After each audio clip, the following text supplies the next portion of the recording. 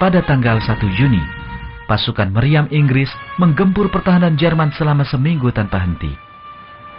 Di akhir minggu tersebut, para perwira Inggris memerintahkan serdadunya memanjat keluar dari parit.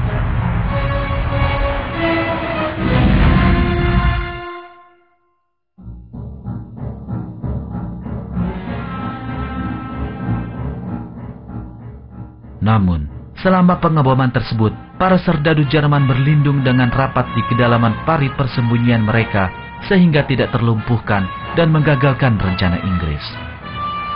Begitu serdadu Inggris bergerak melintasi garis depan, serdadu Jerman muncul menyerang mereka dengan senapan mesinnya. Sejumlah total 20 ribu serdadu Inggris tewas dalam beberapa jam pertama perang tersebut.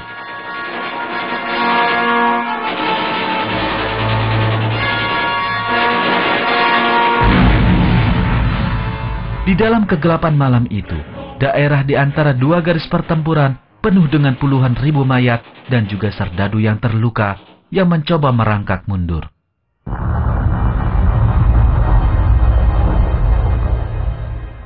Pertempuran Somme tidak berlangsung dua minggu seperti yang direncanakan Jenderal Hay, melainkan lima bulan. Bulan-bulan ini tidak lebih daripada pembantaian para jenderal bertubi-tubi mengirimkan gelombang demi gelombang serdadu mereka menuju kematian yang telah pasti. Di akhir pertempuran, kedua belah pihak secara keseluruhan telah kehilangan 900 ribu prajuritnya. Dan untuk ini, garis depan bergeser hanya 11 kilometer. Para serdadu ini dikorbankan demi 11 kilometer saja.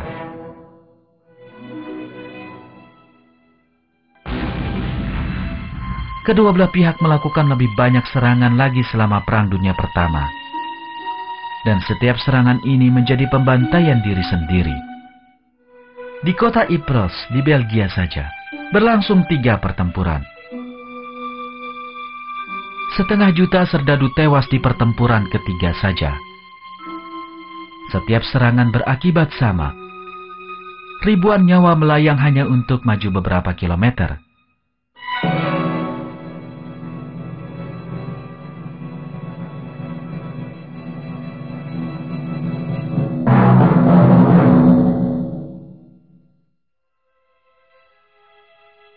Peperangan yang mengerikan ini, yang tidak punya alasan kuat, menelan nyawa orang tak bersalah yang tak terhitung banyaknya. Banyak orang kehilangan saudaranya atau harus meninggalkan rumahnya. Penyebab utama di balik malapetaka masyarakat ini adalah ambisi politik dan kepentingan kalangan dengan paham tertentu.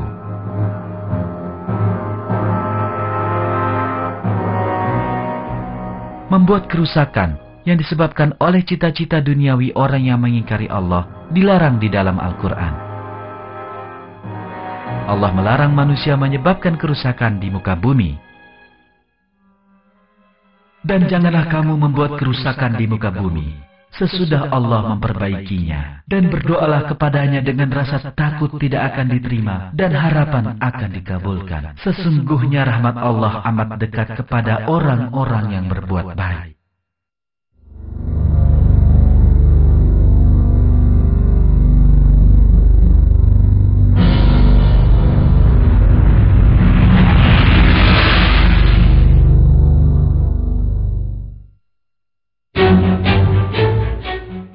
Perang Dunia ke-1 menandai mulai munculnya sejumlah besar gejala yang mematikan. Salah satu di antaranya adalah bahwa perang mulai menyerang tidak hanya pasukan tentara, tetapi juga rakyat sipil. Pengeboman pertama yang ditujukan kepada penduduk sipil adalah serangan pada tahun 1915 ke Inggris oleh pesawat Zeppelin Jerman. Bom yang dijatuhkan dari pesawat Zeppelin ini meminta korban nyawa banyak orang tak berdosa. Kapal selam Jerman, U-boat, memulai operasi untuk menembaki kapal-kapal sipil yang melintasi Samudra Atlantik. pada tanggal 7 Mei 1915, kapal lintas Atlantik terbesar di dunia, Lusitania, tenggelam tepat di dekat pantai Irlandia karena serangan kapal U-boat. Dari 2.000 orang penumpang Lusitania, sejumlah 1.190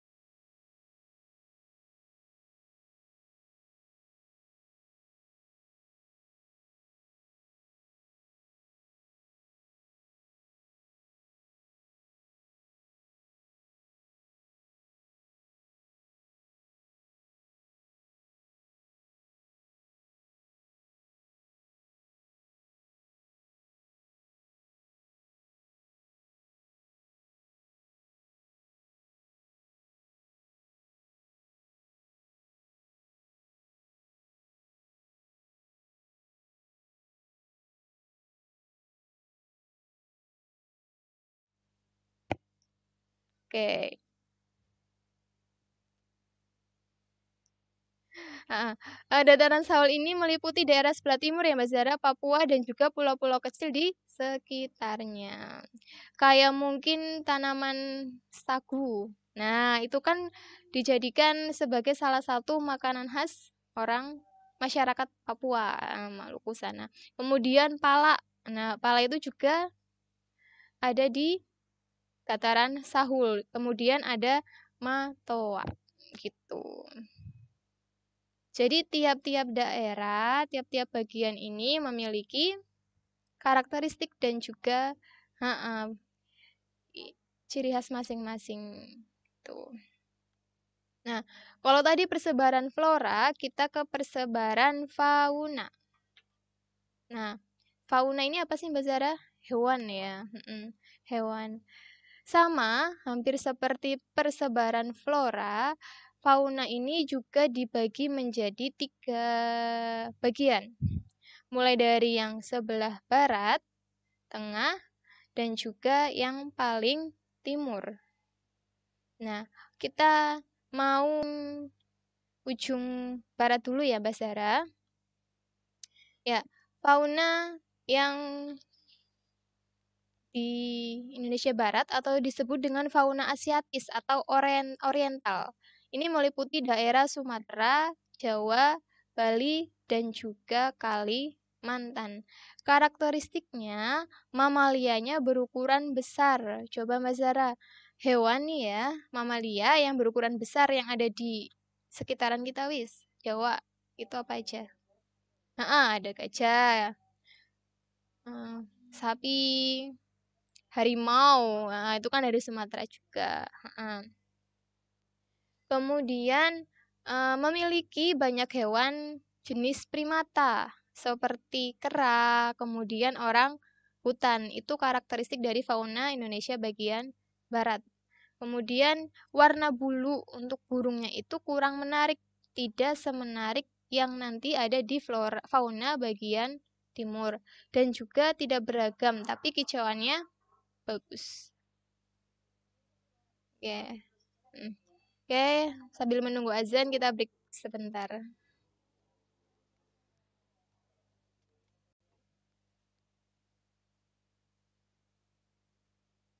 Lima orang tenggelam atau tewas dalam serangan tersebut.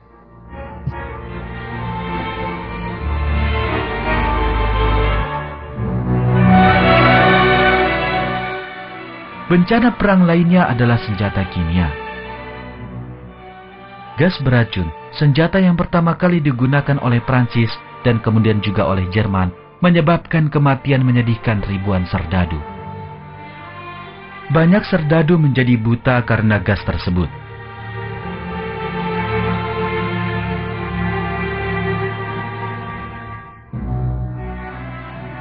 Dan pasukan harus membagikan topeng anti gas sebagai alat pelindung. Rakyat sipil pun diberikan topeng anti gas untuk melindungi mereka dari ancaman yang sering kali mematikan ini.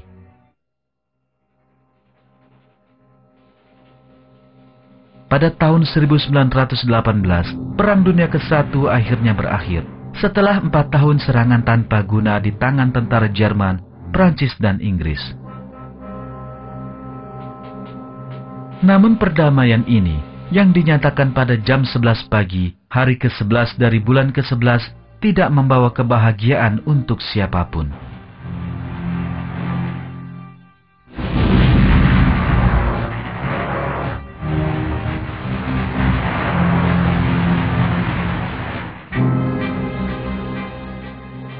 Ratusan ribu serdadu menjadi cacat. Sebagian lainnya terbukti tidak mampu mengatasi dampak kejiwaan karena perang setelah tinggal di dalam parit yang penuh dengan lumpur, kotoran, dan mayat.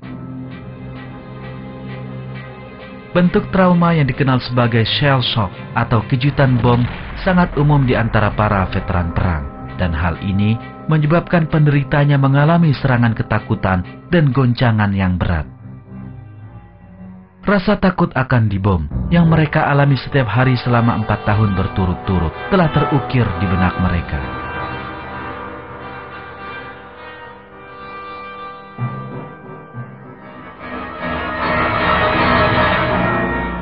Ada beberapa penderita yang merasa harus segera bersembunyi hanya karena kata bom disebutkan.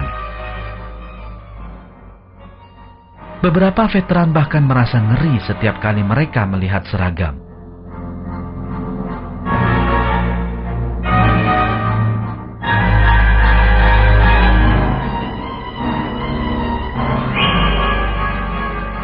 Puluhan ribu serdadu juga kehilangan satu atau lebih anggota badannya dalam perang ini.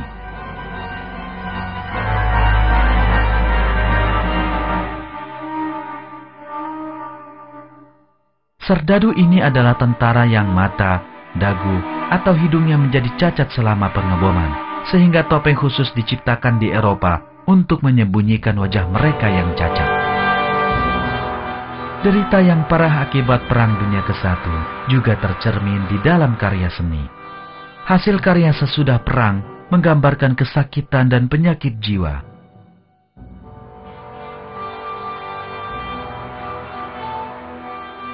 Karya-karya ini tidak hanya mencerminkan keadaan jiwa sang seniman, namun juga keadaan jiwa seluruh generasi tersebut. Generasi yang merasakan akibat kesengsaraan perang yang sangat mendalam ini, kemudian dijuluki generasi yang hilang.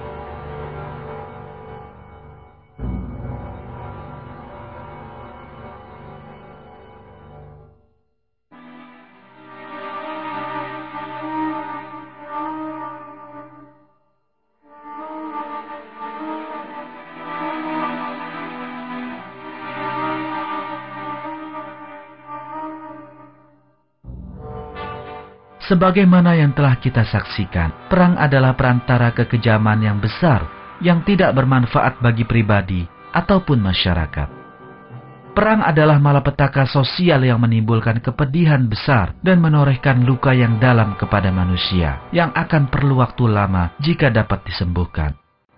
Allah di lain pihak telah memerintahkan manusia untuk menghindari perang dan mengutamakan perdamaian. Allah memberi kabar gembira untuk orang yang melakukan amal solih.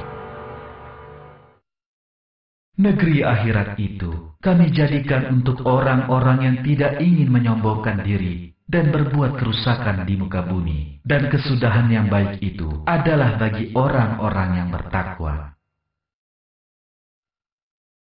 Patutkah kami menganggap orang-orang yang beriman dan mengerjakan amal yang salih sama dengan orang-orang yang berbuat kerusakan?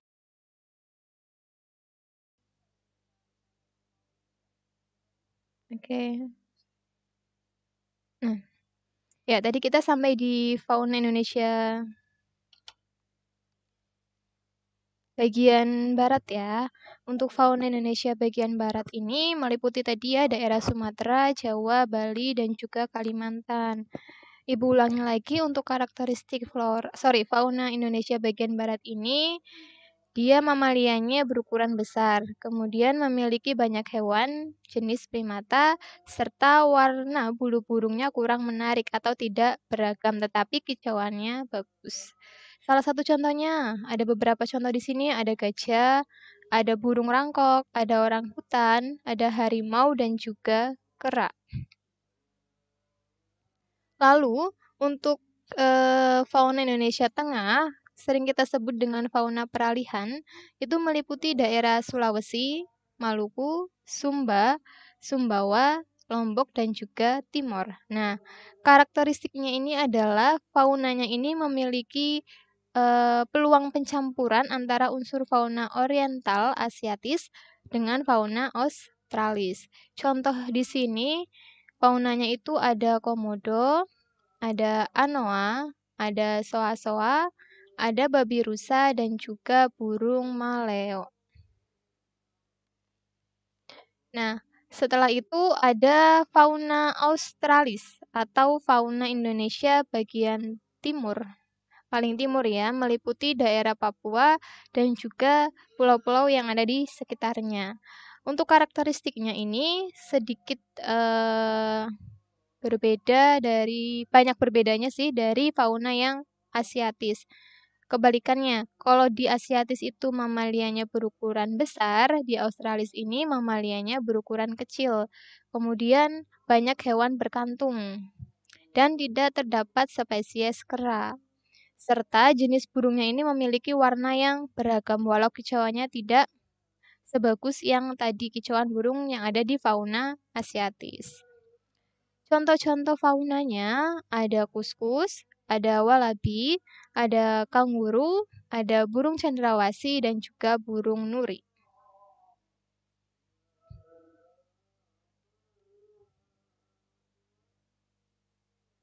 Oke, selanjutnya tadi kita sudah belajar persebaran ya bahwa fauna uh, Indonesia ini dibagi menjadi tiga ya fauna asiatis atau orientalis, fauna peralihan yang bagian tengah dan juga fauna uh, australis yang bagian timur. Nah, sebenarnya keanekaragaman hayati tersebut um, sangat berpengaruh besar terhadap kehidupan kita ya. Uh, keanekaragaman hayat Indonesia ini merupakan anugerah terbesar dari Allah yang harus kita jaga. Karena ke hati ini, keanekaragaman hayati ini punya nilai-nilai yang sangat berpengaruh. Ada nilai konsum konsumtif, ada nilai ekonomis, ada nilai ekologis, nilai biologis, dan juga nilai ilmiah. Kita bahas satu-satu ya. Oke, nilai konsumtif. Nah, kalau Mbak Zara dengar kata-kata konsumtif berarti berkaitan dengan pangan ya Mbak. Jadi yang dimaksud nilai konsumtif ini adalah keanekaragaman hayati yang memberikan manusia sumber daya untuk mencukupi kebutuhan pangan, perumahan, dan juga kesehatan. Nah, makanan pokok nih contohnya, orang Indonesia ini sebagian besar penduduknya ini makan makanan pokoknya itu berupa beras ya Mbak Sarah atau padi. Mm, padi. Namun di beberapa daerah lainnya ada yang berbeda. Mungkin ada yang jagung, ada yang sagu. Nah, perbedaan ini terpenuhi Maksudnya bahan-bahan pokok ini terpenuhi karena Indonesia punya keanekaragaman hayati dalam hal pangan ya kan berbagai tanaman. Ada padi ada jagung singkong ubi dan lain sebagainya. Selain makanan pokok juga ada tanaman penghasil buah ya. Di Indonesia e, diperkirakan terdapat sekitar 400 jenis tanaman penghasil buah. Ada contohnya itu sirsak jeruk bali rambutan duku durian manggis Markisa, Mangga, dan masih banyak lainnya ya Mbak Zara. Banyak kalau disebutin satu-satu waktunya nggak cukup. Kemudian selain itu juga dengan adanya keanekaragaman, Indonesia juga punya berbagai jenis tanaman penghasil sayuran seperti sawi, kangkung, kacang panjang, buncis, bayam, terong, kol, seledri, dan masih banyak lainnya. Selain itu juga Indonesia di dalam bidang pangan, mungkin untuk kesehatan, punya yang namanya empon-empon ya Mbak Zara. Contohnya apa aja Mbak Zara? Hmm, tanaman berumbi kayak kunyit, nah kunyit, jahe, kencur, temulawak. Nah, itu kan uh, salah satu bahan yang bisa digunakan sebagai obat juga ya. Bernilai konsumtif. Oke, selanjutnya itu ini tadi udah keanekaragaman hayati dari segi nilai ekonomis. Nah, yang dimaksud nilai ekonomis di sini adalah ketika keanekaragaman hayati tersebut dapat diperjualbelikan atau dapat dihargai dengan uang. Nah, contoh nih, kita punya pohon jati. Nah, pohon jati ini kalau diekspor, maka akan menghasilkan nilai jual yang tinggi atau bisa menambah devisa negara. Kemudian kita punya rotan juga. Nah, ketika rotan ini diolah menjadi kerajinan kayak kursi, meja, kemudian dijual, maka akan menghasilkan nilai ya, harga jual juga, nilai jual. Kemudian mungkin apel, kayak apel nih atau kayak singkong, kita olah menjadi keripik itu juga dijual menghasilkan harga jual menghasilkan nilai jual. Ataupun kopi, ya kopi ini kan ya lumayan kalau diekspor dia memiliki nilai jual yang sangat tinggi. Kemudian ada juga nilai ekologis. Nah, yang dimaksud dengan nilai ekologis di sini adalah keanekaragaman hayati yang berperan dalam mempertahankan keberlanjutan ekosistem.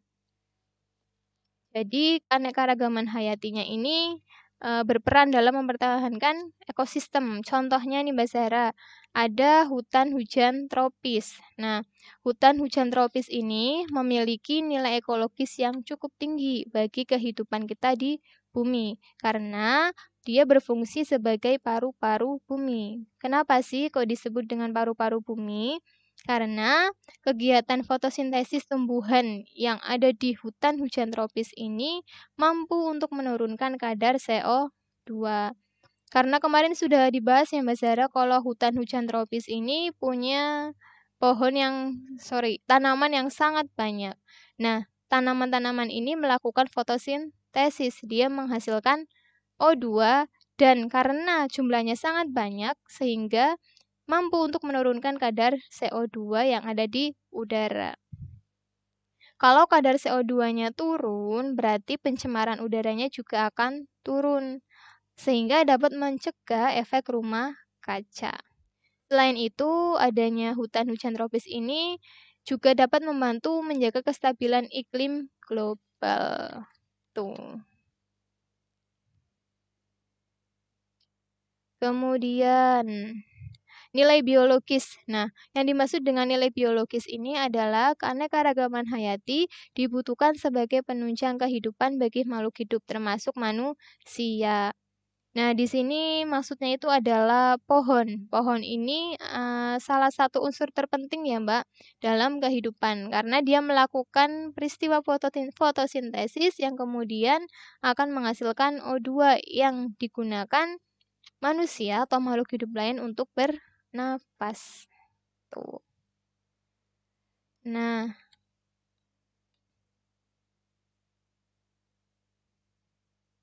kemudian ada nah, nilai ilmiah. Yang dimaksud dengan nilai ilmiah di sini adalah keanekaragaman hayati dapat dijadikan sebagai bahan penelitian untuk pengembangan ilmu pengetahuan dan juga teknologi. Jadi mungkin Indonesia punya penangkaran penyu, punya Pulau Komodo. Nah, ini adalah tempat-tempat yang bisa kita teliti, yang bisa kita gunakan sebagai bahan penelitian untuk mungkin mengembangkan ilmu pengetahuan, mengembangkan uh, bidang ilmu lainnya sehingga bisa turut dalam menambah uh, hasanah keilmuan kita gitu. Kemudian ada juga nilai estetika atau nilai keindahan. Jadi di sini keanekaragaman hayatinya dapat memenuhi kebutuhan batin atau mental spiritual yang dapat menambah ketenangan dan juga kebahagiaan manusia. Contohnya eh, ketika kita main ke kebun raya atau kita main ke pantai atau kita main ke penangkaran penyu itu kan kita melihat berbagai makhluk hidup yang sangat beragam. Kemudian kita bisa merefresh otak kita. Nah, ini di sini nilai estetika dari keanekaragaman hayati. Gitu Mas Sarah. Mm -mm. Oh, 10 menit. Oke. Okay. Kita lanjut. Nah, ancaman. Kalau tadi keanekaragaman hayati memiliki banyak manfaat, tadi sudah Ibu sebutkan ya, berbagai macam-macam nilainya, uh, ke hati ini juga punya ancaman ketika kita mungkin lalai untuk menjaganya, lalai untuk melestarikannya. Nah, ada beberapa ancaman di sini. Salah satunya ada beberapa. Ada yang pertama, hilangnya habitat, kemudian karena pencemaran, karena perubahan iklim, karena eksploitasi flora fauna, adanya spesies pendatang dan juga industrialisasi gitu. Nah, kita bahas satu per satu. Di sini hilangnya habitat. Hilangnya habitat atau tempat tinggal ini diakibatkan karena manajemen pertanian dan hutan yang tidak berkelanjutan, sehingga menjadi penyebab utama hilangnya habitat yang menyebabkan tingkat keanekaragaman hayatinya semakin menurun. Selain itu juga karena bertambahnya jumlah penduduk, sehingga bertambah juga pula kebutuhan kan ya Mbak Zara yang harus dipenuhi. Sedangkan lahan yang tersedia untuk kehidupan hewan dan tumbuhan semakin sempit karena digunakan untuk tempat tinggal manusia tadi. Nah, ini juga salah satu penyebab dari hilangnya habitat yang mampu mengancam keanekaragaman hayati yang kita miliki. Kemudian yang kedua itu ada pencemaran.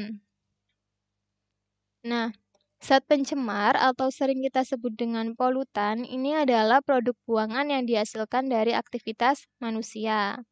Polutan tersebut dapat mencemari air, tanah, maupun udara.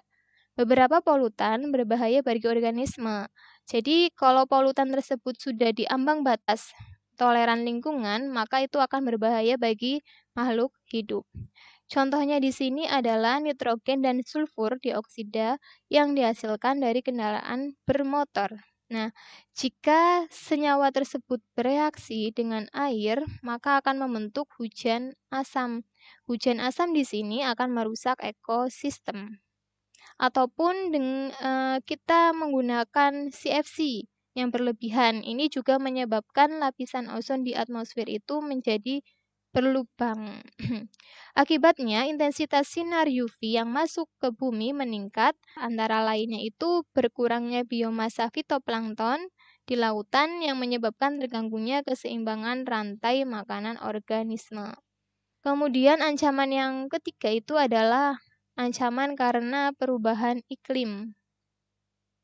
Salah satu cemaran udara oleh zat CO2 atau karbon dioksida Uh, gas ini akan menimbulkan efek rumah kaca. Ketika efek rumah kaca ini terjadi, maka suhu di udara ini akan meningkat. Nah, peningkatan suhu tersebut menyebabkan pencairan es yang ada di kutub, baik itu kutub selatan maupun kutub utara, dan akan berdampak pada kenaikan permukaan air laut, sehingga dapat menyebabkan terjadinya perubahan struktur dan fungsi ekosistem di lautan gitu. Kemudian uh, ancaman yang keempat ini uh, eksploitasi. Manusia biasanya yang melakukan eksploitasi ya Mbak Zara. Biasanya apa aja ya Mbak Zara eksploitasinya? Ayo, penebangan pohon ya secara liar, tetapi tidak diimbangi dengan usaha pelestariannya. Nah, eksploitasi hewan dan tumbuhan secara besar-besaran biasanya dilakukan terhadap komoditas yang memiliki nilai ekonomis tinggi. Tadi seperti yang sudah disebutkan yaitu kayu di hutan. Kayu di hutan ditebang kemudian digunakan untuk bahan bangunan. Selain itu juga biasanya manusia ini mengeksploitasi ikan. Nah, ada salah satu contohnya adalah ikan tuna sirip kuning.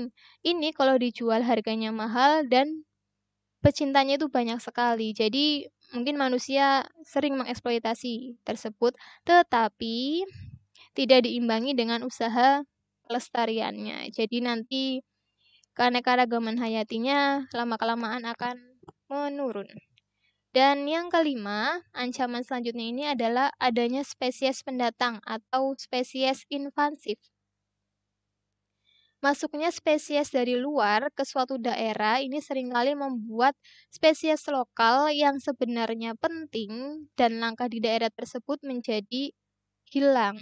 Nah, beberapa spesies asing tersebut dapat menjadi spesies invasif yang menguasai ekosistem. Contohnya ini terjadi di Papua Barat, di Danau Ayamaru, itu adalah ikan pelangi. Dia merupakan spesies endemik di sana. Namun, ikan pelangi ini terancam punah karena dimangsa oleh ikan mas. Nah, ikan mas ini adalah ikan yang dibawa dari Jepang dan menjadi spesies invasif di danau tersebut sehingga keberadaan ikan pelangi terancam punah karena adanya spesies yang baru yang datang ya, yang ikan emas tadi. Kemudian yang terakhir itu ada ancaman di bidang industrialisasi. Maksudnya di sini itu adalah para petani banyak yang cenderung menanam tumbuhan atau memelihara hewan yang bersifat unggul, sedangkan hewan e, tumbuhan yang kurang itu disingkirkan, tidak lagi diperhatikan. Ada juga petani itu banyak yang melakukan eh, pertanian monokultur. Jadi hanya menanam satu jenis saja. Ini menyebabkan menurunnya keanekaragaman hayati juga, khususnya di tingkat spesies. Gitu Mas Zara. Jadi ada banyak ancaman ya kalau kita abai maka keanekaragaman hayati yang kita miliki bisa menurun atau bisa hilang mungkin bahkan. Ya. Oke. Ya. Iya. Iya, sebentar. Ibu mau menjelaskan tentang konservasinya ini. Tadi kalau ada ancaman, maka kita harus punya upaya untuk bisa um, membuat keanekaragaman hayati ini tetap utuh, bahkan mungkin berkembang. Ada dua konservasi, ada pelestarian secara in situ dan juga pelestarian secara ex situ. Berdasarkan kosakatanya, in itu kan di dalam. Jadi pelestarian in situ ini adalah pelestarian yang dilakukan di dalam habitat aslinya. Sedangkan ex situ itu kan di luar, berarti pelestariannya ini dilakukan di luar habitat aslinya. Contohnya nih, kalau in situ itu contohnya itu ada cagar alam, Kemudian ada juga suaka marga satwa. Di Indonesia punya beberapa konservasi in situ. Contohnya itu tadi cagar alam di Bengkulu yang melindungi Rafflesia. Kemudian ada juga badak Jawa di ujung kulon. Ada juga uh, Pulau Komodo yang khusus melindungi, khusus untuk pelestarian komodo di Nusa Tenggara ya. Nah, sedangkan ex situ ini adalah pelestarian yang dilakukan di luar habitat aslinya. Contohnya kebun binatang ya, Bahasa sering mungkin ya, kebun binatang itu kan terdapat berbagai jenis binatang. Itu pelestarian tetapi tidak di habitat aslinya. Kemudian ada juga kebun raya Bogor. Di situ juga terdapat berbagai jenis tanaman. Itu juga dilestarikan tetapi tidak di habitat aslinya. Ada juga kebun koleksi Mbak Zara. Nah, ini adalah kebun yang berisi berbagai jenis tumbuhan yang sengaja tujuannya untuk dikembangkan ataupun dipertahankan dalam bentuk yang hidup. Contohnya ini ada di Bone-Bone, koleksi kebun koleksi kelapa gitu. Nah, jadi kesimpulan dari pembelajaran kita ini adalah kalau kemarin kita udah belajar tingkat ke hati atau tingkat keanekaragaman, ternyata keanekaragaman ini dibagi menjadi daerah atau wilayah-wilayah sendiri. Ada persebaran flora dibagi menjadi flora dataran Sunda, flora da daerah peralihan atau daerah tengah, dan juga flora dataran Sahul yang ada di ujung timur. Kemudian sama juga seperti flora, fauna juga dibagi menjadi tiga ya. Flora dataran Sunda, flora sorry, fauna dataran Sunda, fauna dataran sahul, dan juga fauna perarihan. Dan kemudian tadi ternyata keanekaragaman ini memiliki nilai yang bermanfaat bagi kehidupan. Ada nilai ekonomis, nilai ekologis, nilai biologis. Dan kita pun harus bisa melakukan upaya pelestarian, baik itu secara in situ di dalam habitat maupun secara ex situ. Gitu Mbak Sarah. Oke, uh, mungkin sekian dari Ibu, semoga bermanfaat. Silakan nanti yang mau bertanya lebih lanjut bisa kontak Bu. Ya, uh, seperti di grup biasanya. Oke, sekian dari Ibu, semoga bermanfaat. Jangan lupa jaga kesehatan, tetap semangat belajar walaupun lagi daring. Ibu cukupkan. Wassalamualaikum warahmatullahi wabarakatuh. Ya, sama-sama akan di muka bumi, patutkah pula kami menganggap orang-orang yang bertakwa sama dengan orang-orang yang berbuat maksiat?